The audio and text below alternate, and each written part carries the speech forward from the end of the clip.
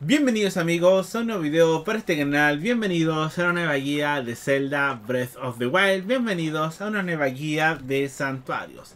Aún nos encontramos en la meseta de los Álvarez y en esta oportunidad vamos a hacer nuestro tercer santuario, el santuario de Souke. Así que antes de empezar el video, como siempre los invito a suscribirse al canal y a activar la campanita.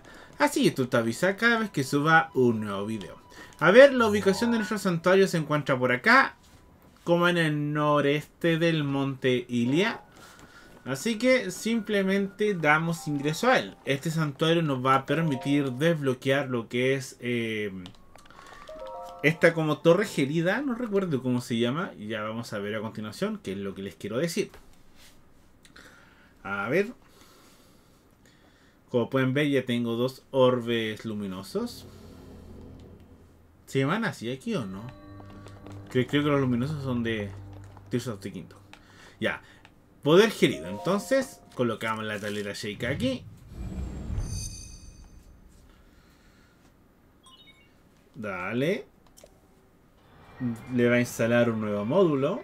Una actualización. Estamos actualizando la consola. Ahí viene la actualización.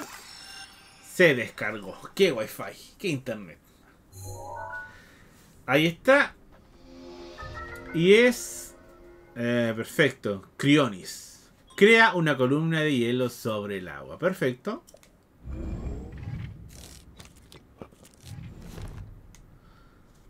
Perfecto. Esto, como siempre, con la L. Pero esto va a ser aquí una torre que nos va a permitir usarla como escalón. ¿Se dan cuenta? Ya se completó la primera parte.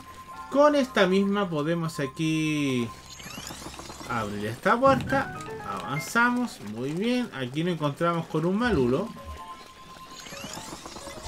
Ahí antes que nos golpee. Y aquí simplemente... Puta, caí en la peor posición porque caí arriba. Pero se dan cuenta aquí otra vez.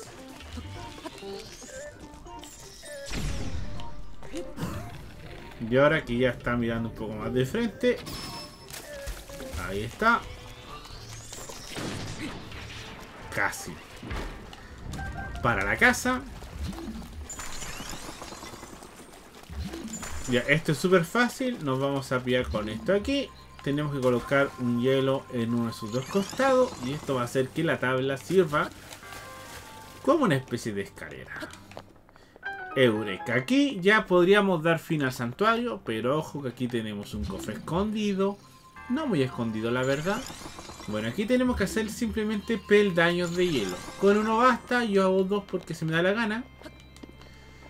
Y así llegamos fácilmente al cofre. Una lanza de viajero, la cual no voy a llevar en este caso porque creo que mis armas que tengo no son las mejores del mundo, pero es mejor que eso, ¿no? Así es, está bien. Ahora volvemos a subir. De hecho aquí podríamos haber hecho también esto al otro lado. Esto no cambia en nada el resultado. En ejemplo, podríamos haber hecho esto.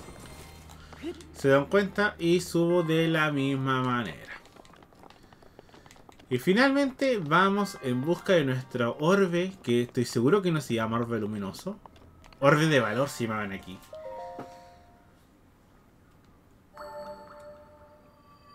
Aquí está. Al superar la prueba has demostrado que eres un verdadero héroe. Por tanto, te haré entrega de un símbolo de tu valor en nombre de la diosa Gilia.